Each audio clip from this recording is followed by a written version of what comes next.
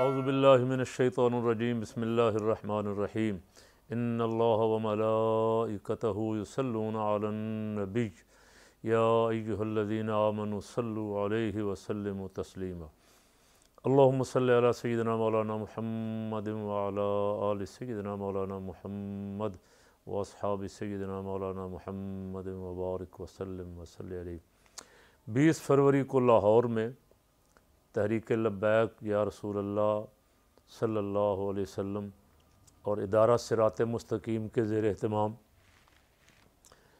سنی conference, اس لحاظ سے دوسری کہ پچھلے سال کنز العلماء ڈاکٹر محمد اشرف آصف جلالی صاحب کی رہائی کے بعد جو کانفرنس کی، وہ پہلی تھی اور یہ دوسری ہے۔ ویسے تو کئی سالوں سے ڈاکٹر صاحب ماشاءاللہ کبھی ریلوے اسٹیڈیم میں، کبھی مینار پاکستان میں بڑے بڑے اجتماع کرتے رہے۔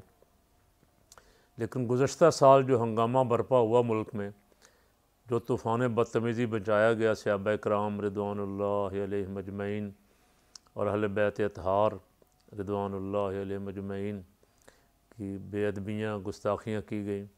ان کا جس طرح محترم ڈاکٹر صاحب نے جواب دیا اور جس ہمت کے ساتھ، جس جرت کے ساتھ وہ میدان میں کھڑے رہے اور تقریباً تمام ایک طبقے نے تو خیر ان کی مخالفت کرنی تھی، لیکن کچھ چھپے ہوئے جو اپنے بنے ہوئے تھے، وہ بھی کھل کے بیگانوں کے ساتھ کھڑے ہو گئے اور ان کے چہروں سے نقاب اترے اور وہ ایسا ایسا میدان میں آ گئے اور انہوں نے ڈاکٹر صاحب کو بہت گندی گالیاں دیں، ماں بہن کی، ان کی گالیاں سن کے ایک عام آدمی ایک مزدور، ایک ان پڑھ آدمی بھی شرم سے اس کا سر بھی جھک جاتا تھا کہ یہ یار علماء ہیں، یہ سید ہیں، یہ پیر ہیں۔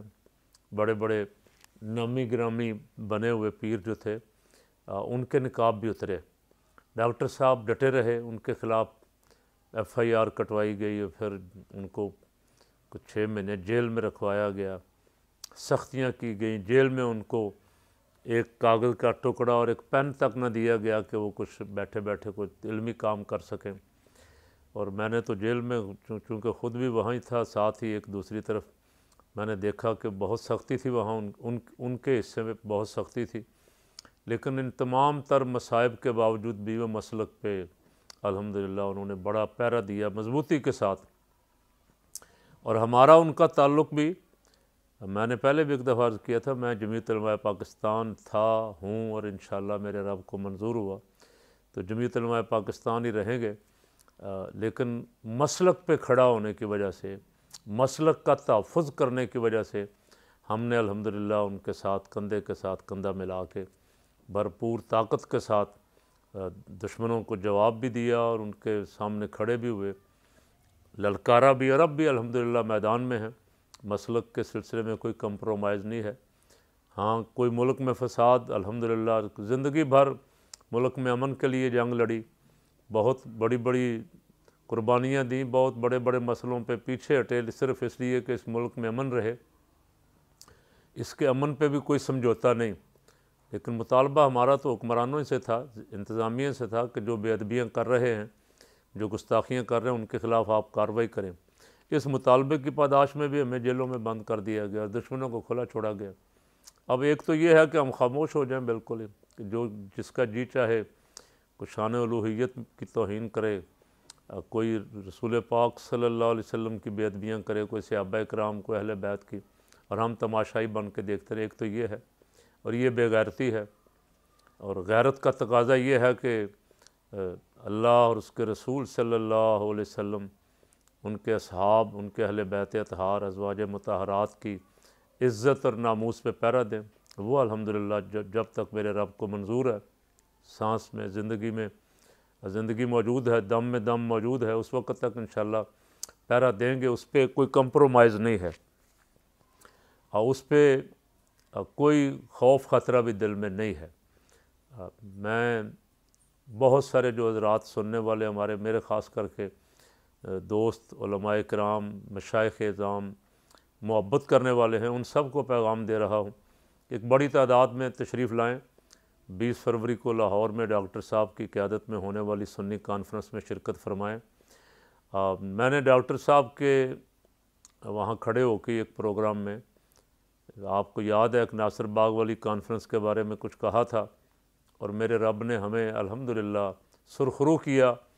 کہ عوام اہل سنت نے ہماری آواز سنی اور ایسا بائی کیا، ایسی عبرتناک انہیں شکست اور سزا دی کہ آج تک ان کو یاد ہے۔ اس دفعہ انہوں نے بڑا زور لگا کے پھر کوشش کی کہ سنیت کے پردے میں رافضیت چھپا کے پیش کریں عوام کے سامنے اور ان کو راضی کریں۔ لیکن اس دفعہ بھی پہلے سے کوئی بہت زیادہ بہتر نہیں ہوا۔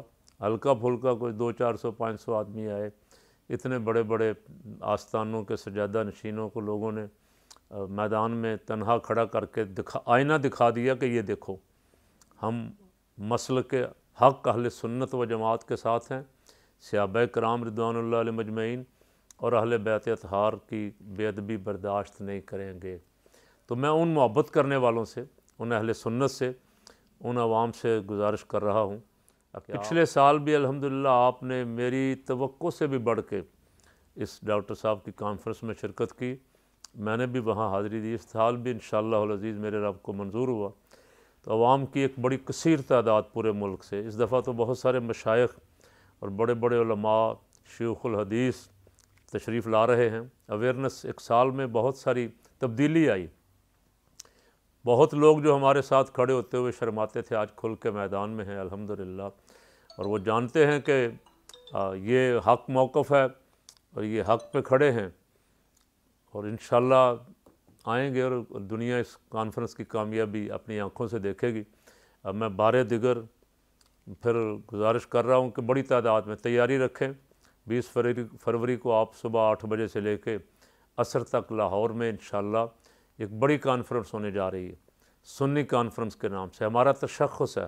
سنی کانفرنسیں ہمارے و اجداد آل انڈیا سنی کانفرنسیں کرتے رہے اور پھر ملتان میں ایک سنی کانفرنس کی رائے ونڈ میں میلاد مصطفیٰ کانفرنس کی اور موچی دروازے میں شیخ الاسلام خواجہ محمد قمر الدین سیالوی صاحب رحمۃ اللہ علیہ کی قیادت میں سنی کام ٹوبہ میں سنی کانفرنس ہمارا نشان ہے الحمدللہ۔ اس نام پہ کانفرنس ہو رہی ہے اور وہی ان کے ان بزرگوں کی اولاد ان کے وارث جو ہیں ان کے عقیدے پہ پیرا دینے والے جو ہیں، وہ اس کانفرنس کا انعقاد کر رہے ہیں۔ آپ بھی بڑی تعداد میں آئیں اور کامیاب بنا کے پیغام دیں، دندان شکن پیغام دیں ان کو کہ ہم کوئی پیر ہے، کوئی بڑا مولوی ہے، کوئی بڑا مفتی ہے، کوئی جو بھی ہے، ہم مسلک پہ کمپرومائز نہیں کریں گے، انشاءاللہ مسلک کے اعلیٰ حضرت کے ساتھ کھڑے ہیں اور مضبوطی کے ساتھ کھڑے ہیں۔ اللہ تعالیٰ اس کانفرنس کو بہت کامیابی سے ہم کنار کرے۔